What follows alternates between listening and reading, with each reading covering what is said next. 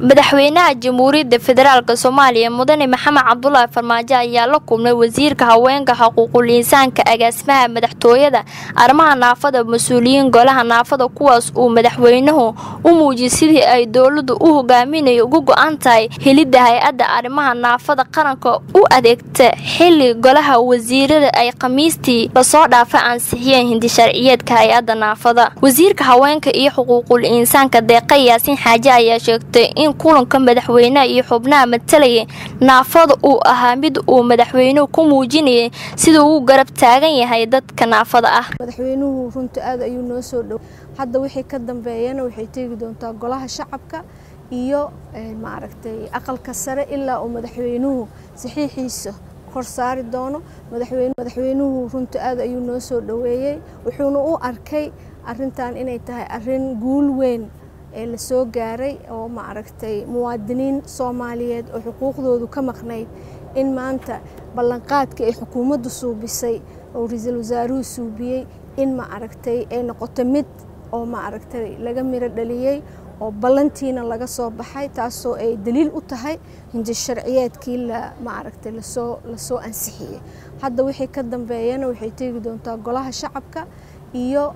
maaragtay aqalka sare ilaa uu madaxweynuhu saxiixiisa kor saari doono madaxweynuhu wuxuu naga ballan qaaday inuu arintan inta karaankiisa ah iyo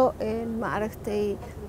inuu maaragtay arintan nagala shaqayn doono uuna maaragtay u arkaayo inay tahay arrin muhiimad gaara u leh soomaaliya uqaabilsanaa xafiiska madaxweynaha ee arrimaha naafada cabdiraxmaan faarax luunga ayaa isna si kooban uga hadlay kulanka. Runtii guul bay noogu dhammaatay waa arrin taariikhi waa arrin aan dhicin abadiyan ilaa dowladdii dhexe ee naga burburtay laga soo bilaabo. Waa markii ugu horreysay naafada ay fursadda caynkan oo helaan.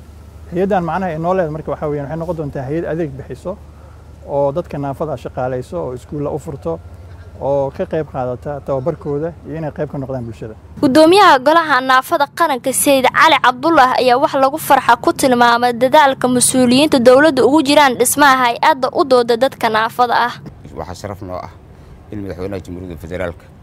aan maaragtay lagu casuumo hoygiis annagoo maaragtay lagu hambaliyeynayay shaqada muhiimka ah ee maaldhoweed khamiistii la soo dhaafay ay meel marisay xukuumadda soomaaliya taasoo ahayd dhismaha hay'addan arrimaha naafada ka shaqaynaysa ee heer qaran. Hay'addaas aan aaminsannahay inay wax badan oo caqabada ah maanta haysta dadka naafada ah inay mataqaanaa ay ka gudbin doonto haddii ilaahay yidhaahdo dagaalada kala duwan ee muddo ka dhacaya soomaaliya ayaa sabay in dad badan ay ku naafoo marka laga soo tago kuwii ay saameeyeen musiibooyinka dabiiciga ah. Ifraax qaasim diiriye telefishinka galmudug magaalada muqdisho